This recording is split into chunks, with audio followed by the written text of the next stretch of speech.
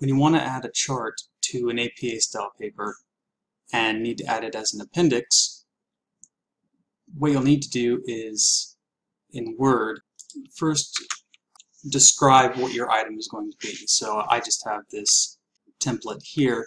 So let's say,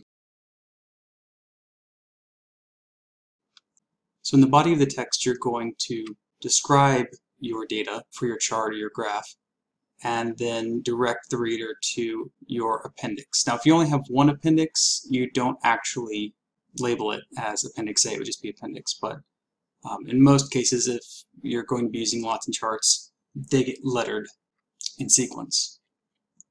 So in Word, it will go after references. So you go here, hold Control and Enter to make a page break, center,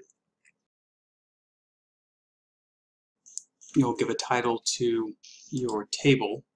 Your appendix title will be centered, and then you can insert your table. So in this case, it's a static picture, and this was just a very misleading chart I found on the internet.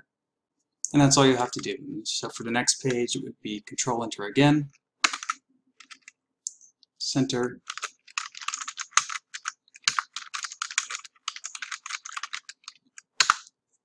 same thing.